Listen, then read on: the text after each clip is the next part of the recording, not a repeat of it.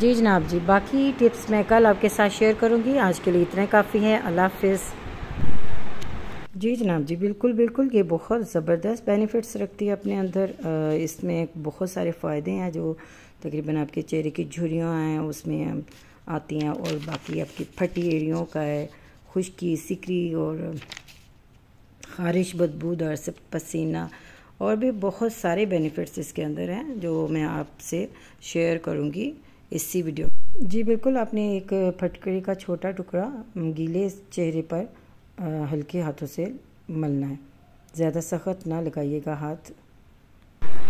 क्योंकि चेहरे की जल्द बहुत नाजुक होती है। सर की खुश्की और सिकरी के लिए शैम्पू में चुटकी भर फटकरी का पाउडर डालकर सर धोएँ और हफ़्ते में दो से तीन मरतबा ये अमल ज़रूर और आपके साथ ये छोटी सी डेमो भी एक शेयर करूँगी। ये मॉक्सन भट्टी सावर डॉक्टर उन्होंने किया है कि एक जग में पानी लेके साथ साफ़ पानी तो उसमें एक चम्मच मिट्टी का भर के डाल के गंदला पानी कर दिया। था और छोटा सा टुकड़ा उन्होंने फटकरी का डाला है।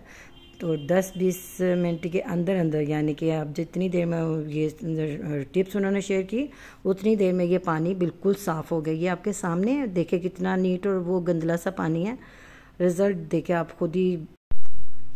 जी, बिल्कुल फटी एड़ियाँ और जो बिल्कुल बहुत गंदी और हुई होती हैं, क्रैक्स पड़े होते हैं, उनके लिए भी ज़बरदस्त है। आपने बस पाउडर लेना है, चौथाई चम्मच का हिस्सा और उसमें नारियल का तेल, तकरीबन तीन चम्मच नारियल के तेल में मिक्स करके वो अपनी फटी एड़ियों पर लगाएँ और हफ़्ते में एक दो बार इसको ज़रूर अप्लाई करें।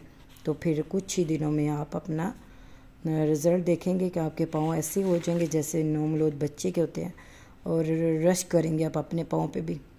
तो एंड तक ज़रूर वीडियो देखा करें और शेयर भी करें कमेंट्स दें ताकि मुझे भी पता चले कि कुछ बेनिफिट्स हैं कि नहीं।